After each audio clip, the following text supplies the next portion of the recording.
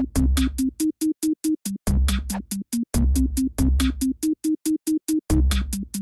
Shein is an online clothing retailer whose popularity started exploding during the pandemic and has only continued to grow from there. Specifically for Gen Z, it has become one of the trendiest topics on the internet over the past few years. Seemingly everyone has been making these haul videos on TikTok and YouTube, more so TikTok, sharing all of the new clothes and accessories that they recently bought from Shein. Now, even if you are outside of that demographic, much like myself, I think this topic is still relevant, interesting, and potentially concerning. It is is almost hard to believe that Shein has quickly become one of the biggest fashion retailers in the world, even surpassing Amazon as the most downloaded shopping app in the United States. Their annual sales are estimated to have grown about 10 times larger over the past five years, currently sitting around the $30 billion range. In April of 2022, Shein had a round of funding that valued them at $100 billion, a figure that is almost unheard of for a relatively new privately owned company like this. For context, H&M, one of their main competitors, is valued around 25 billion, so clearly Shein has quickly become a big deal in the industry, which could potentially be an issue given all these controversies and scandals that they have been attached to. It seems like the list never ends, but in this video, I want to highlight some of the bigger ones by grouping them into categories that will hopefully inform you enough to draw your own conclusions about this divisive company that has clearly been taking over the fashion industry. I want to to start off the list by talking about how mysterious they are. Seriously,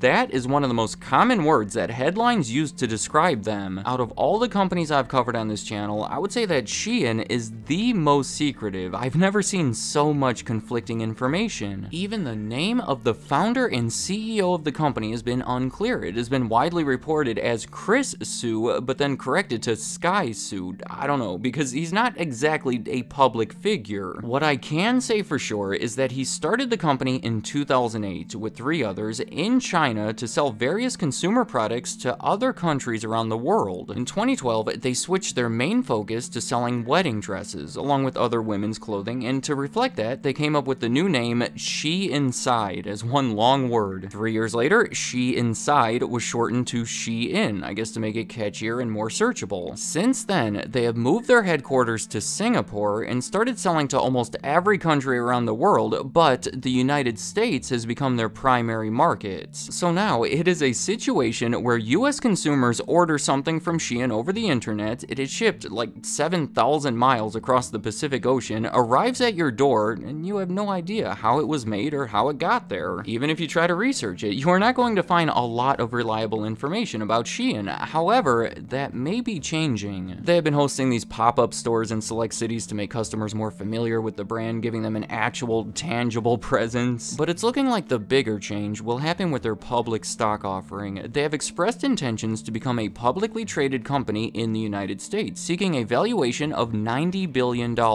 If that happens, they'll be required to file a prospectus and quarterly financial figures and all this other information that, as of right now, is not really out there. But they have been having issues getting this IPO happening, partially due to some of the other controversies on my list. The main one being allegations of forced labor along with other sketchy labor practices. Through its entire existence, most of Shein's 6,000 suppliers have been in China, meaning that most of the stuff you buy from the website was manufactured within that country, and the conditions at some of those factories have been questionable. In 2021, a report found that a couple of them were violating local labor laws by working too many hours, and then the following year, there was a British documentary that alleged employees at the factory were being paid $20 a day, oftentimes working up to 18 hours a day with only one day off a month. Yeah, they were bad conditions that motivated the band The Rolling Stones to terminate a licensing agreement that they had recently made to feature their logo. Shein responded by hiring independent auditors that concluded that most of the allegations were false and then dedicated $15 million to improving their standards. But probably the most concerning of the accusations in this category, and one of the bigger hurdles in getting that IPO, is the area in which they source their cotton In short, the US has banned the import of goods that are tied to the Xinjiang region of China because of human rights violations against an ethnic group there. Trust me, that is a whole upsetting tangent, but Shein has been accused of using cotton from that region. They have denied the allegation, saying that they have a zero tolerance policy when it comes to forced labor, but again, it's become this mysterious suspicion. Maybe the biggest controversy involves Shein's impact on the environment. This right here has been an ongoing concern throughout the fast fashion industry. I've already talked about it in past videos I made about other fast fashion retailers like H&M and Forever 21, but in short,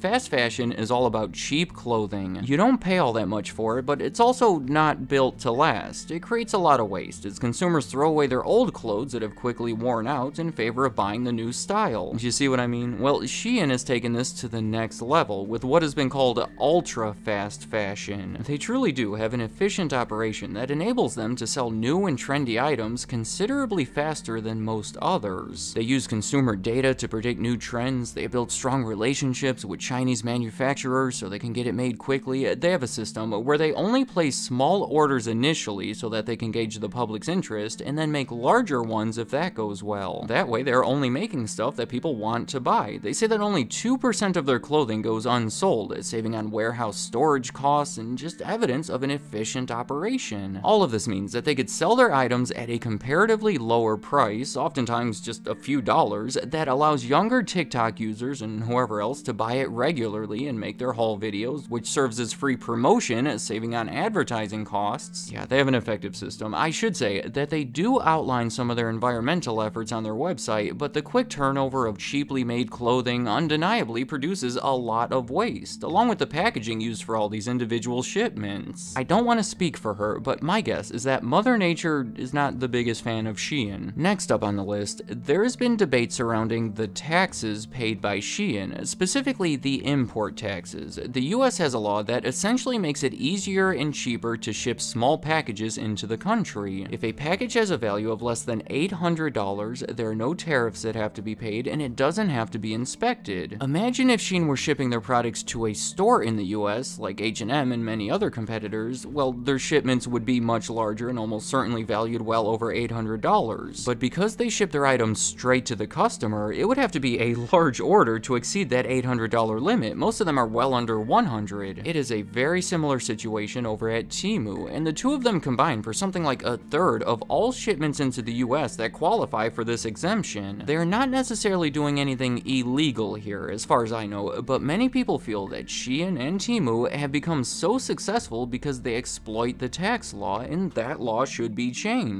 Another big controversy has been their history of copying designs, along with using trademarked or copyrighted material without permission. They have been involved in dozens of lawsuits involving this. Now, you have to remember that fast fashion retailers have to put out a lot of new stuff quick. They have to really keep up with the latest trends, so literally thousands of new items are posted to their website daily. You can see how this would be motivation to quickly imitate an existing design that has already been proven, or at the very least, you could see how something could slip through the cracks if not properly supervised. Sometimes the design has been taken from smaller independent creators, and sometimes it's taken from well-known larger ones. For example, they were accused of copying this sweater from a smaller Nigerian brand. The original company sold it for $330, while the Shein version of it sold for $17. I mean, sure, it's probably not made nearly as well, but that is 95% cheaper, and you just can't compete with that.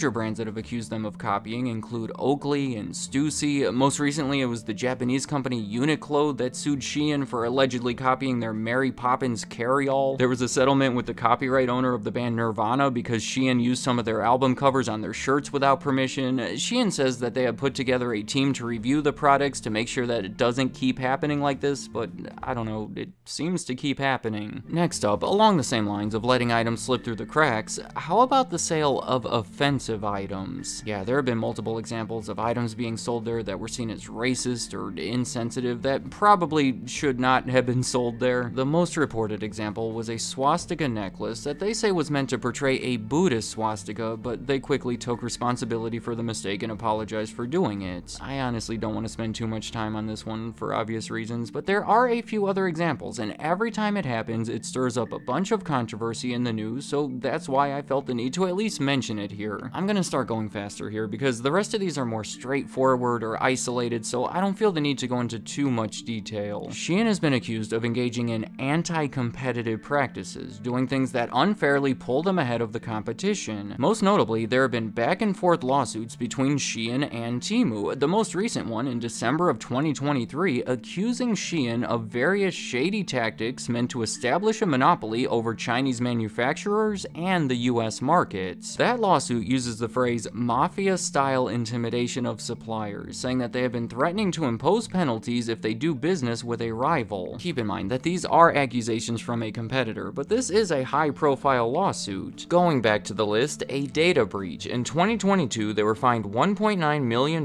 by New York for failing to properly disclose a data breach that affected 39 million customers. Another one would be safety concerns. In 2021, there was a study by CBC in Canada that found ridiculously high levels of chemicals in certain products that were bought from Shein, including this jacket for toddlers that they say had 20 times the amount of lead that is safe for children. I'm being careful to not dilute my list by picking out every little issue that anyone has ever had with Shein, but I do feel like everything I mentioned here is pretty serious. This is a large company with a global impact that is probably going to become even more relevant as time goes on, so if anything in this video is concerning to you, I recommend you continue to look deeper into it and act accordingly. Or maybe just wait until more information comes out so we can get a fuller picture of Shein. They've been making a lot of waves lately, so my intention here is simply to make you more aware of what has been happening with them and potentially raise some suspicions. Let me know in the comments, what do you think about Shein? Are they a harmless company that sells trendy clothing at amazing deals, or a mysterious troublemaker that needs to be thoroughly investigated before they can win over your approval? Or potentially somewhere in between. I hope this video came off as objective. I'm truly not trying to persuade you of anything, but at the same time, these are serious controversies that I think you should at least be aware of, so any thoughts you have about Shein or anything else in this video, leave them in the comments. I'd like to hear what you have to say.